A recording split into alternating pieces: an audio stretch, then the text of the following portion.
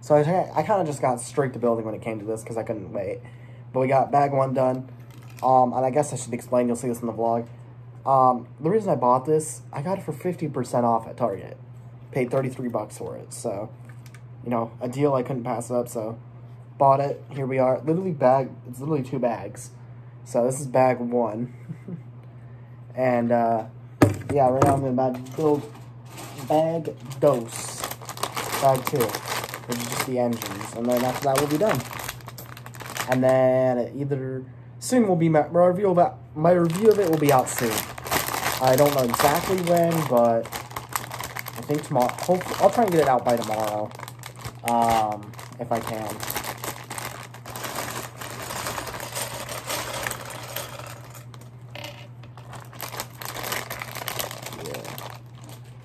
Where's it? Where's it? Where's it? Where's it? Ah, there it is. The BD droid. I wish it was BD1, but eh. Close enough. I'll get the BD1 set eventually. It'd be a, it's a cool set to have uh, to go along with the uh, Jedi, the Star Destroyer coming out later with uh, Cal Kestis. So, yeah. Eh, I'm not gonna bore you with me building the minifigures. I'm just gonna get straight to building.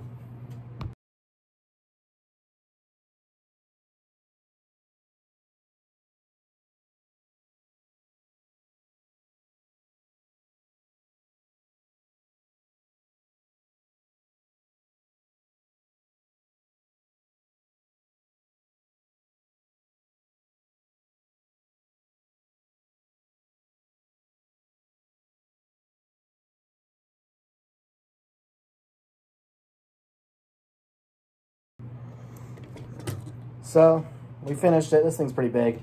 Honestly, it's uh, I was not expect. I like. I knew it was gonna be big. I just wasn't expecting it to be this big.